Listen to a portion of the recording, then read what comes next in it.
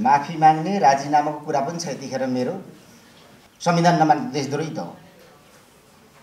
राजतन्त्र हुँदा गणतन्त्र ग हामीले भन्दा मृत्युदण्ड हुन्थ्यो। निरङ्कुशतामा लोकतन्त्रको ल भन्दाखेरि मृत्युदण्ड हुन्थ्यो। भएकै हो। तर लोकतन्त्रमा चाहिँ तँ हुँदैन। भन्नु पाइन्छ। पहिलो त अब माफी माग्ने राजीनामाको कुरा पनि छ यतिखेर मेरो। हिजो म एउटा कार्यक्रममा गएको थिएँ। सायद पत्रकार साथीहरू पनि सबभन्दा बढी यसैमा चासो होला। कि जस्तो छ त्यति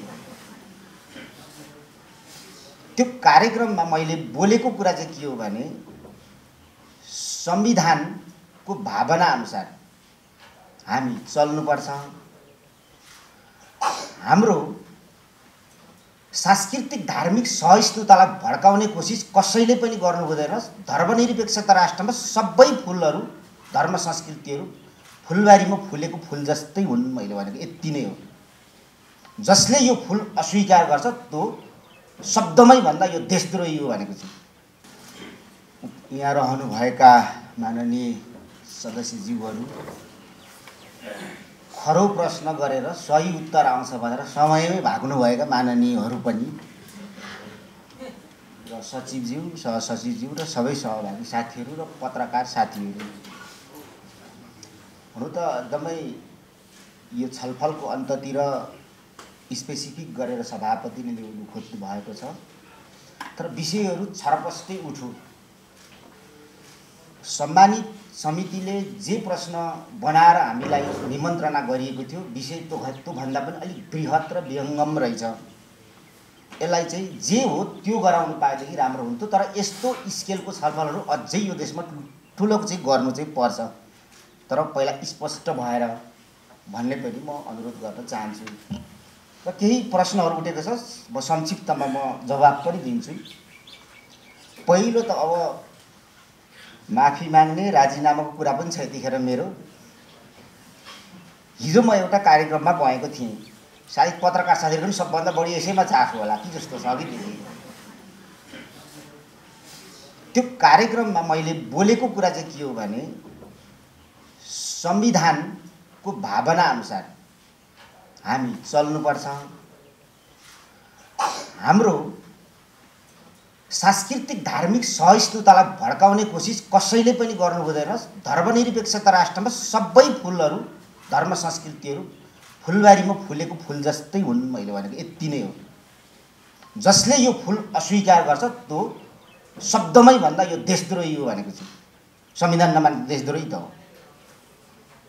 राजतन्त्र हुँदा गणतन्त्र ग हामीले भन्दा मृत्युदण्ड हुन्थ्यो। निरङ्कुशतामा लोकतन्त्रको ल भन्दाखेरि मृत्युदण्ड हुन्थ्यो भएकै हो। तर लोकतन्त्रमा चाहिँ तँ हुँदैन। भन्नु पाइन्छ। लोकतन्त्रमा सडकमा लट्ठी चाहिँ घुमाउनु पाइन्छ अर्काको नाकमा चाहिँ हिर्काउनु पाइँदैन यो चाहिँ सही हो फेरि। तर जसले सडकमा के भनौँ चिया पसलमा के भनौँ भन्दा पनि यही संविधानमा आधारित संविधानलाई मानेर निर्वाचनै लडेर जितेर आएको साथीहरूले चाहिँ संविधानलाई नै केन्द्रमा राख्नुपर्छ जस्तो लाग्छ। यो प्रश्न पनि गैर जिम्मेवारी प्रश्न हो। यो संविधान सम्मत प्रश्न हो। यो नैतिकताको मात्रै प्रश्न होइन यो। यो सिद्धान्तको पनि प्रश्न हो जस्तो मलाई लाग्छ। र यस्तो प्रश्नहरू यही संविधान स्वीकारेर आएका मान्छेहरूले चुनाव जितेर आएका मान्छेहरूले गर्नु त शोभनीय हुँदैन जस्तो मलाई लाग्छ। कि त मान्दिनँ भन्नु पऱ्यो संविधान मानेपछि त्यसको पनि त्यो लयमा संविधानको लयमा बस्नुपर्छ जस्तो लाग्छ। मैले भनेको केही होइन यति नै। अब हामी सबैलाई जिम्मेवारी पदमा बसेपछि परिणाम दिने इच्छा हुन्छ नै। जिम्मेवारी पदमा बसिसकेपछि केही न केही जीवनमा अमिट छाप दिएर जाउँ भन्ने सबैलाई हुन्छ नै।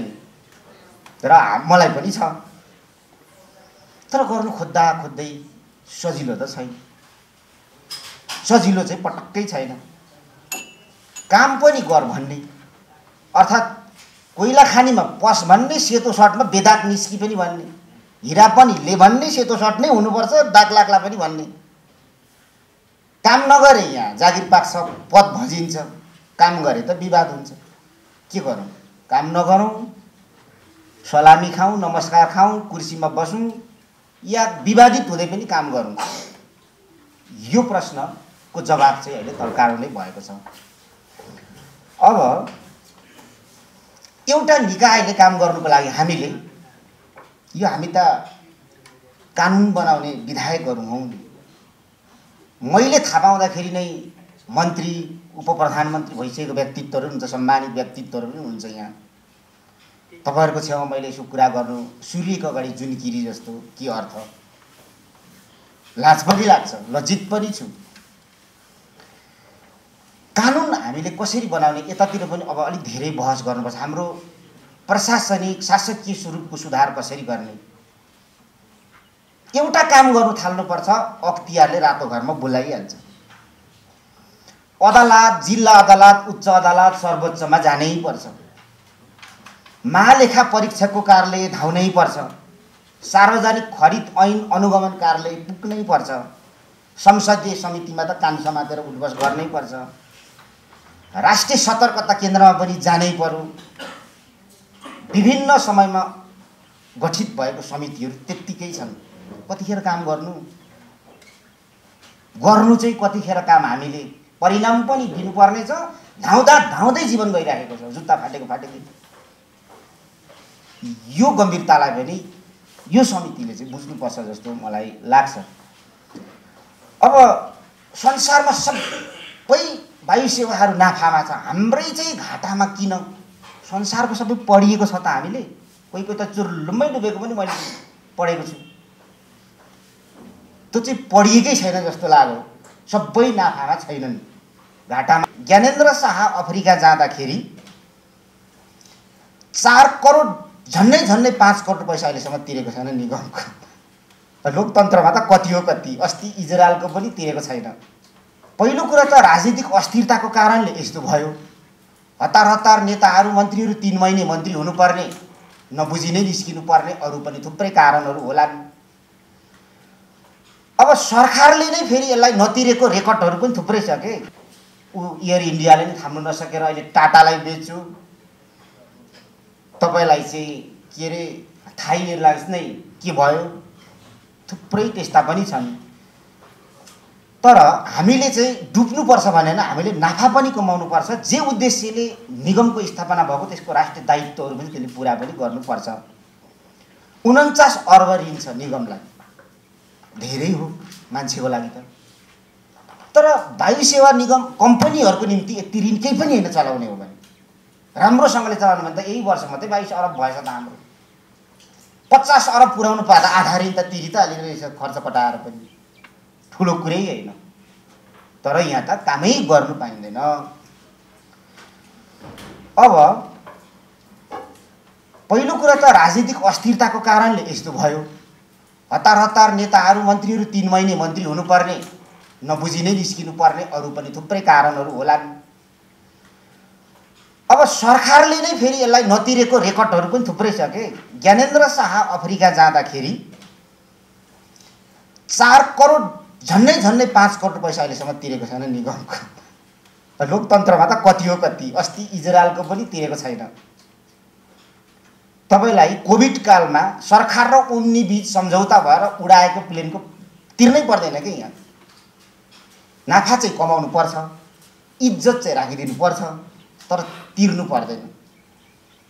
नतिरे पनि सरकारले त काखी च्यापे हुन्थ्यो नि त। बिगार्ने त त्यही हो नि एउटा कर्मचारी कार्यालय मात्रै बिग्रेको हो त यो। युवराज अधिकारी छ अहिले प्रमुख। युवराज अधिकारी भएको त दुई तिन वर्ष त भयो होला। निगमको इतिहास त हामीभन्दा जेठो तर उसले कति कोसिस गर्दैछ भन्ने वर्तमानको चाहिँ प्रमुख कुरा होला जस्तो लाग्छ। अनि सरकारले पनि लापरवाही गरिदिने मन्त्री झन् लापरवाही हुने अनि उनीहरू त लापरवाही गरिहाल्छ नि। फुफूको श्राद्ध गर्नु के छ? र बाबुको भए पो अलिकति निधार पम्चिन्छ फुफूको त घिउरा भात खानु पाएकै हुन्छ सबैले। यो पनि होला। सबभन्दा जिम्मेवार त माथिबाटै सरकारबाटै हुँदै जानुपर्छ जस्तो मलाई लाग्छ। धेरै करोड निगमको ऋण सरकारले तिर्दैन। अब त्यो यताउति त्यो उमा नजाउँ अब अर्को कुरा चिनिया जहाज सेतो हात्ती भयो सेतो हात्ती भयो संसद थर्काउने हामी त हामी नै हो संसदमा बोल्ने पत्र पत्रिका बोल्ने टिभीमा बोल्ने चिया पसलमा बोल्ने हामी नै हो सेतो हात्ती किन पालेको? अब निकास दिउँ भनेर टेन्डर गऱ्यो किन निकालेको? अब गर्नु के त अब? यो चाहिँ केही न केही बहस होस् भनेरै टेन्डर निकालेको। कि त अब उपाय दिनुहोस् समितिले। छानबिन समिति बनाइदिनुहोस् न त। हामी फिर्ता गरिदिइहाल्छौँ नि भोलि फिर्ता गरिदिइहाल्छौँ टेन्डर त। तर दोषीलाई कारवाही गर्ने गरी कर्मकाण्डी चाहिँ होइन। बिस करोडभन्दा बढी घाटा वर्षमा हामीले चिनिया जहाजलाई तिरेर राख्नु परेको छ। त्यसको इन्सुरेन्स र पार्किङको चार्ज। अब यो जहाज एमआई सिक्सटी दुईवटा छ। वाइट टुवेल्भ तिनवटा छ जम्मा पाँचवटा जहाज हो। यो कसरी किनियो कसको स्वार्थमा किनियो के हो यो थाहा छैन। यस्तै खोज्दै जाने हो भने त त किन जन्मेको होला नि भन्नेमा पुगिन्छ क्या लास्टमा। जन्मिनु नै यहाँ त गल्ती हो जस्तो पुगिन्छ। अब यसको कारणहरू अब प्राविधिक साथीहरूले भनेअनुसार यो रिपोर्टमा पनि छ प्रशिक्षक पाइलट नपाइने। पाउँदाखेरि चिनिया पाइने भाषा नमिल्ने। र प्रशिक्षक पाइलटबाट तालिम हुन नसक्ने तालिम हुँदाखेरि असाध्यै महँगो तिर्न नसकिने तालिम हुने। तुलनात्मक रूपमा यसको इन्धन चाहिँ अरू जहाजभन्दा बढी खर्च हुने। भारवन क्षमता कम। अब इन्सुरेन्स खर्च अत्याधिक महँगो। स्पायर पार्टहरू पाउँदै नपाउने चिनबाटै ल्याउनु पर्ने समयमा उपलब्ध नहुने। एउटा बोल्टो पाइरहने त जहाज त उड्दै उडेन नि। अनि जहाज थन्काएर राख्ने त्यसको उसिनेर सुप खाने कि हामीले उडाएर फाइदा लिने देशको सेवा गर्ने? यही प्रश्नको उत्तरको अगाडि हामी उभिएका छौँ। ठिक छ? समितिले शक्तिशाली समिति खडा गरिदियोस्। अथवा क्याबिनेटले गर्ने प्रस्ताव गरिदियोस् यसले। संसदमा कुरा उठाइदियोस् घेराबन्दी गरिदियोस्। हामी तयार छौँ। दोषीहरू त जेल जानुपर्छ। तर तिरेर राख्नु चाहिँ यो जायज कुरा हो जस्तो मलाई लाग्दैन। वार्षिक बिस करोडभन्दा बढी पचहत्तर छ्यात्तर सालसम्म एक अरब नब्बे करोड त यसको मात्रै पैसा तिरिसक्यो। पचहत्तर छ्यात्तर सालसम्म। बाँकी त हिसाब गर्ने बाँकी छ। अब चिनिया जाललाई भन्नुहोस् कि यो समितिले के गरौँ? राखौँ अझै घाम तपाउँ पछि सुप बनाएर खाउँ या चाहिँ बेचौँ या के गर्नुपर्ने त चाहिँ समितिले सम्मानित समितिले भनिदियोस्। हामी त अहिले पनि फिर्ता गर्न तयार छ। यो चाहिँ मैले नै छिटो निकास दिनु पऱ्यो अन्यथा यसरी सुकाएर राख्नु पाइँदैन भनेर मेरो दबाब हो। कर्मचारीहरूको यहाँ केही दोष छैन। अब निजीकरण गर्ने कि? ए के अरे विज्ञको कुरा पनि आयो यहाँ। विज्ञ चाहिँ देशको विज्ञ हो कि पार्टीको विज्ञ? यहाँ चिन्नै सकिँदैन। माओवादीको विज्ञ हो कि रासपाको विज्ञ हो कि नेमाकिपाको विज्ञ हो कि कुन स्कुलिङबाट आएको त्यो कसरी प्रशिक्षित भयो? अब विज्ञ चाहिँ यहाँ चिन्नै गाह्रो नेपालमा फेरि। देशको निम्ति विज्ञ जन्माउनु सकिएन क्या हामीले? मूल्याङ्कन प्रणाली त युनिभर्सिटीमा बिस वर्ष पढाएको मान्छेको विषय नम्बर अनुसन्धान गरेको हुन्छ नि। अनुसन्धान गरेर आएको मान्छेको एक नम्बर अनि किन गर्नु पर्यो अनुसन्धान यहाँ? किन जन्मिनु पर्यो वैज्ञानिक? यहाँ त जागिर खाएर दारी खुलाए भइहाल्यो। नम्बर आइहाल्छ। क्षमताको त यहाँ कुरै हुँदैन। हामी यस्तो देशमा छौँ यस्तो देशको सांसदहरू हौँ तपाईँहरू पनि मन्त्री भएको अझै हुनुहुन्छ। भर्खर एक वर्ष चार वर्षमा कति हुने हुने मन्त्री? मेरो नाचघरको जिएमले भन्छ मेरो कार्यकालमा मैले आठजना मन्त्री सामना गरेँ भन्छ। हिमाल चढ्नु गएको मान्छे फर्किँदा अर्कै मन्त्री थियो अरे जाँदा अर्को थियो अरे खाजा लगाइदिने फर्किँदा अर्कै खाजा लगाइदिने अब भन्नु कि के गर्नु एउटा मन्त्रीले? हामीले राजनीतिक प्रणाली हाम्रो चाहिँ यो जुन स्थिति छ नि यो प्रति पनि यो स्तरमा छलफल बहस गर्नुपर्छ जस्तो मलाई लाग्छ। अब निजीकरण भनेको होइन। म्यानेजमेन्ट कन्ट्याक्ट भनेको निजीकरण होइन जस्तो लाग्छ मलाई। यो गइसकिएको छैन बहस गरौँ राष्ट्रिय बहसै गरौँ हुन्छ कि? राम्रो हुन्छ मैले। लैजाउँ अब मैले अहिलेसम्म गरेको देखेको मेरो आफ्नो निष्कर्ष अनुभव चाहिँ निजीकरण जब गरियो हाम्रो संस्थानहरूलाई त्यो चाहिँ डुब्यो। जो चाहिँ म्यानेजमेन्ट कन्ट्याक्टमा लग्यो त्यो चाहिँ फस्टाएर आयो नि त नेपालमा चाहिँ। वाणिज्य ब्याङ्क नेपाल ब्याङ्कहरू त फस्टाएर त आयो। यो अनुभव चाहिँ नेपालको अनुभव हो। त्यो अनुभवबाट जाँदाखेरि के हुन्छ भनेर कार्यदल गठन गरेको हो। जानैपर्छ भन्ने पनि छैन तर यो बाटो पनि हुँदैन त्यो बाटो पनि हुँदैन। हुन्छ चाहिँ के बाटो त? हुने कुरा भन्दा देखाइदिनु पर्यो। यो कुरा राख्न चाहन्छु। अब सुरक्षा यो हवाई सुरक्षाको सन्दर्भमा नै बढी कुरा उठो आज विषयमा त म त त्यो तयारीमा पनि थिइनँ। यो एजेन्डा हेर्दाखेरि अब अब यो सार्वभौमिक राष्ट्र हो हाम्रो। विभाजन गरेर नगरेर दुइटै प्र्याक्टिस छ संसारमा। दुइटै राम्रो छ। कतै कुन राम्रो छ कतै कुन राम्रो छ। अब हामी चाहिँ के गर्ने? यो हाम्रो देशको स्वतन्त्रताको कुरा पनि होला। यो स्तरमा बहस होस्। कसैको फोटोकपी गरेर हिँड्नुपर्छ भने पनि जरुरी छैन सार्वजनिक सत्ता सम्पन्न राष्ट्रले। हाम्रो सापेक्षतामा के हुन्छ? त्यही गर्दा राम्रो हुन्छ भनेर छलफल पनि होस् अब देश त संसार त राजनीतिले चलेको छ। हामी कस्तो देशमा छौँ? संसारको राजनीतिले कस्तो प्रभाव पार्छ यो देशलाई? कस्तो भू राजनीति कति संवेदनशील ठाउँमा छौँ भन्ने पनि होला। विश्लेषण होस् न। समितिले जे भन्यो त्यही मानिहाल्छौँ कि हामी त कान समातेर मान्नै पर्यो तर एकापक्षीय भएर जङ्गल देख्दा रुख रुख देख्दा जङ्गल दुईवटा एउटामा दुई दुईवटामा एउटा बिर्सेर त हुँदैन। दुइटै सम्झिनु पऱ्यो हामीले। हामीले छलफल गर्नुपर्छ जस्तो मलाई लाग्छ र अब बाह्र बुधामा अहिले केन्द्रित भएर आयो। अब साथीहरूको रिपोर्टमा हामी सच्याउँदैछौँ भन्ने छ मेरो निर्देशन पनि एकदम कडाइका साथ छ। केही समय धैर्य गरेर बाह्र बुधालाई सच्याएर कालो सूचीबाट निकाल्नेतिर जाउँ कि? घुम्तीबाट विधेयक बनाउनेतिर झै झगडातिर जाउँ? अब तपाईँहरूले नै भन्नुहोस्। यो देशमा के विधेयक बनाउनु सजिलो छ? तपाईँ हामी त हो विधेयक बनाउने। मन्त्रालयको विभागबाट उठाएको विधेयकको त्यो भनौँ। मन्त्रालयबाट पास भएर लगेपछि छ आठ महिना अर्थ मन्त्रालयमा झुलिन्छ। छ आठ महिना कानुन मन्त्रालयमा झुलिन्छ। क्याबिनेटमा जान्छ समित क्याबिनेटको समितिमा जान्छ क्याबिनेटमा जान्छ त्यसपछि तल्लो या माथिल्लो सदनमा जान्छ त्यहाँदेखि फेरि माथिल्लो या तल्लो सदनमा फेरि जान्छ फेरि यही समितिमा आउँछ अनि फेरि संसदमा गएर पारित भएर राष्ट्रपतिले छाप हान्छ चार पाँच वर्ष लाग्छ कि एउटा कानुन बनाउनलाई। फास्ट ट्र्याक कसरी बनाउने? यो पनि अलिक गर्मा गर्मी ढङ्गले नै संसदमा उठ्नुपर्छ जस्तो लाग्छ। छिटो हामीलाई त छिटो चाहियो नि। छिटो छैन। हामी यो बाटोमा छौँ। कहाँ पुग्यो भने त मन्त्रालयले प्रधानमन्त्री कार्यालयमा दिएको छ महिना भयो। त्यहाँ पनि प्रक्रियामा होला त। संसद कता कता घुम्दा घुम्दै त्यसको टाइम लाग्छ कि हामीले बाह्र बुधे सक्छौँ हामीले छिटोभन्दा छिटो बाह्र बुधे सक्छौँ हामी सबै लाग्नु तपाईँहरूको साथ तपाईँहरूले दिनुहोस्। बाह्र बुधे सच्चाएर पनि भएन भने फेरि छलफल गरौँ न। उसले त यो यो यो सच्चा भनेकै छ। त्यस कारणले यो सन्दर्भमा चाहिँ म यही कुरा राख्न चाहन्छु। अब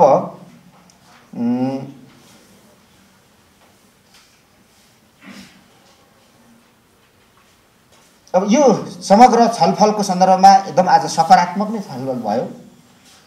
अलिक विषयप्रति आज यही विषयमाथि मा मात्रै छलफल हुने भनेर हामीलाई बोलाउनु पर्यो। यही विषयभन्दा आज उपरान्त प्रश्न उत्तर हुँदैन। माननीय सांसदहरू पनि यो विषयमा तयारी गरेर आउनु। र हामीलाई पनि तयारी गरेर आउनु भन्दाखेरि विषय अझ स्पेसिफिक भएर जान्छ। त्यसले चाहिँ निष्कर्षमा पुऱ्याउँछ समय छुट्टिन्छ जस्तो मलाई लाग्छ। र यो गरिमामय बैठकमा मैले आफ्नो कुरा राख्नु पाएँ त्यसको निम्ति सभापतिज्यूलाई धेरै धेरै धन्यवाद। सभापतिज्यूको साथ सहयोग भइ नै राखेको छ धेरै चासोपूर्वक उहाँले विषयहरू उठाउनु भएको छ त्यसको निम्ति जतिखेर पनि हामी तयार छौँ। धन्यवाद। थियो भन्ने आम सर्वसाधारणको बुझाइ छ। तपाईँले त्यही भन्नुभयो अरे। मैले त्यसो भनेको होइन। म सरकारको एकजना सदस्य हुँ र सबै धर्म संस्कृतिको म अभिभावक पनि हुँ। नेपालको संविधानले त्यही भन्छ। धर्मनिरपेक्षता भनेको पनि त्यही नै हो। त्यसकारणले कुनै पनि धर्म संस्कृतिको विरोध गर्नु र त्यसलाई निषेध गर्नु भनेको संविधान नमान्नु हो। संविधान नमान्नेहरू देशद्रोही हुन्। मैले भनेको यही हो। त्यसरी भन्नुभयो तर क्रिस्चियन धर्म नमान्नेहरूलाई चाहिँ देशद्रोही हुन् भनेर होइन होइन। त्यसलाई चाहिँ यो भरिएको पानीको घैलामा सिक्का हालो भने आवाजै आउँदैन। रित्तो घैलामा सिक्का हाल्यो भने चाहिँ टङ्ग्र्याङ्ग बज्छ क्या। यो चाहिँ टङ्ग्र्याङ्ग हो। बजेको त- मेरो सबै तपाईँको मन्तव्य एकचोटि फेरि सुनिदिनु हुनको निम्ति म अनुरोध गर्छु। मेरो अन्तिम र सार कुरा के थियो भने यो हाम्रो सामाजिक सद्भाव र सहिष्णुता नभड्काउँ अतिवादको अन्त गरौँ साझा बगैँचा हो सबै फुलहरू फुलुन् त्यसैले शोभा र सुन्दरता दिन्छ राष्ट्रिय एकतामा जोड गरौँ। अतिवादतिर नलागौँ भनेको नै हो। अब यति तपाईँले भनिराख्नु भएको छ मैले सबै धर्महरू बराबर हुन् सबै धर्म मान्ने संविधानले व्यवस्था गरेको छ भनेर मैले भनेको हो भनेर भनिराख्नु भएको छ। अब एउटा भाषणमै मैले तपाईँको हिजोको त्यो हेरिराख्दाखेरि कता कता पूर्वतिरको कुरा गर्नुभएको थियो के के कराएको कुरा पनि गर्नुभएको थियो। कि ती समूहहरूले कता कता तपाईँको हिजोको भाषणलाई अतिरञ्जनित अतिरञ्जना फैलाइरहेका छन् कि भनेर तपाईँकै पक्षधरहरूले पनि त्यहाँ कमेन्ट गरेको समर्थकहरूले पनि कमेन्ट गरेको मैले देखेँ। यो चाहिँ खास गरी तपाईँलाई के लाग्छ? अहिले सामाजिक सञ्जालमा तपाईँ पनि एकदमै हेरिराख्ने मान्छे बुझिराख्ने मान्छे प्रतिक्रिया लिइराख्ने मान्छे आम सा सर्वसाधारणहरूको हरेक कुरा देखिराख्ने मान्छे। आज मात्रै होइन पञ्चायत कालमा पनि र प्रजातन्त्र पछि पनि अर्थात् गणतन्त्रमा पनि नेपालको विविधताभित्र खेलेर नेपाली जनतालाई साम्प्रदायिक दङ्गाभित्र हाल्नको निम्ति कोसिस भएको हो। र हिजो आज पनि हुँदैछ। त्यसै कुरालाई सङ्केत गरेर मैले चाहिँ प्रतीकात्मक रूपमा भनेको कुरा के हो भने नेपाली जनतालाई साम्प्रदायिकता अस्वीकार्य छ। सहअस्तित्वबाट नेपाली जनता पर जान चाहँदैन। एकताका साथ बाँच्न चाहन्छ। जनतालाई चाहिँ त्यस्तो छ अरूलाई चाहिँ किन यस्तो केही मान्छेलाई भएको हो? त्यो हुनु हुँदैन भनेको हो मैले। तपाईँको पोस्टमा दुई थरीका मान्छेहरूको टकराव चलिरहेको छ यति बेला अन्तर्द्वन्द चलि चलिरहेको छ। एक थरीले भनिरहेका छन् मन्त्री सुदन किराती ठिक थिएनन् ठिक छैनन्। तर अर्को थरीले भनिरहेका छन् एउटा देशका मन्त्रीहरूमध्ये आशा लाग्दा मन्त्रीको रूपमा हामीले सुदन किरातीलाई हेरेका थियौँ। हिजोको अभिव्यक्ति मात्रै त्यस्तो आएको हो। र मन्त्रीलाई राजीनामा दे भन्ने पनि एउटा अर्को थरी आइराखेका छन्। अब राजीनामा माग्नेहरूलाई के भन्नुहुन्छ? जसले तपाईँले आशाको रूपमा एउटा दियो देख्नु भएको थियो उहाँहरूलाई तपाईँको जवाब के छ? जसले तपाईँको उचि उचितो काटिराख्नु भएको छ यो सुदन किराती त कहिले ठिक होइन भनेर भनिराख्नु भएको छ उहाँहरूलाई तपाईँको जवाब के रहन्छ? दार्शनिक रूपमा भन्छ नि बाधे बाधे जायते तत्त्वबोध भन्छ नि। विषय जन्मेपछि विवाद हुन्छ वाद हुन्छ। त्यसले एउटा वैज्ञानिक निष्कर्ष निकाल्छ। अहिलेको बहस सही ठाउँमै भएको छ। जहाँसम्म मेरो राजीनामै माग्ने भन्ने अलिक जिम्मेवार तहबाट भयो अरे भनेको मिडियामै सुन्छु। होइन सांसदहरूले नै होइन। त्यो चाहिँ उहाँहरूको चेत स्तरको आधारमा हुन्छ। यो बहसले एउटा सकारात्मक एउटा चाहिँ झिल्को पनि दिएको छ। तर को कति नाङ्गो को कति टालोमा भन्ने कुरा पनि देखाएको छ। देखा छ्याङ्गै देखाएको छ। अब तपाईँले गरेका कामहरूको प्राय जस्तो सामाजिक सञ्जालदेखि अब म तपाईँलाई भन्छु आरोप नलागेको कहिले हो र? मैले अघि पनि माथि पनि भने कोइला खानीमा पसेर हिरा पनि टिप भन्छ। सेतो लुगा लगा बेदाग पनि आइज भन्छ। कोइला खानीमा पसेपछि बेदाग होला त। एउटा यो मैले हिन्दूहरूको आराध्य थलो पशुपतिनाथलाई महिनौँ लगाएर सरसफाइ गरेर आज भ्रमण योग्य भयो पशुपतिनाथ मिडियाले नै लेख्छ त आज सफा छ भनेर। हिजो दिशा र पिसाबले भरिएको ठाउँ त आज बगैँचा भएको छ त। त्यतिखेर मलाई हिन्दूको पुछार भन्थ्यो क्या। म जब बौद्धनाथतिर म प्रवेश गरेँ म स्वयम्भूतिर प्रवेश गरेँ बुद्ध तपाईँको चाहिँ को सिद्धान्तको वकालत जब मैले गर्न थालेँ यो बुद्धिस्टको पुच्छ र पिछा लग्गु भनौँ हेर्नु है। मुस्लिमको जान्छु मुस्लिमको भन्छ। क्रिस्चियनको आगे क्रिस्चियनको भन्छ म त हजुर सबैको अभिभावक हुँ। संस्कृति मेरो धर्म छैन। म संस्कृति मन्त्री हुँ। म संस्कृति मन्त्री हुँ। त्यसमा पर्यटन पनि छ। संस्कृति र पर्य के भने प्रकृतिलाई जोडेर नेपालको पर्यटन बनाउनुपर्छ मैले भनेको छु। छोपिएको हिरालाई म उत्खनन गरिराखेको छु। छोपिएको हिरालाई म उत्खनन गरिराखेको छु। त्यस कारणले गर्दाखेरि यो चाहिँ म माथि लागेको आरोप हो। मैले त्यहाँ भनेको छु नि जुनै औँला काटे पनि उत्तिकै दुख्छ र उत्तिकै रगत आउँछ। मेरो लागि सबै धर्म संस्कृति बराबर हुन्। अन्तिममा सामाजिक सञ्जालमा चाहिँ जुन आएको विवाद छ यो चाहिँ काम नहुने खाली बस्ने मान्छेहरूको समय बिताउने ट्रामे हो। मन्त्रीज्यूले त्यस्तो केही भन्नुभएको छैन मलाई चाहिँ लाग्छ। एउटा धन्यवाद समय दिनु हस् थ्याङ्क यू मन्त्रीज्यू हस् हस् धन्यवाद।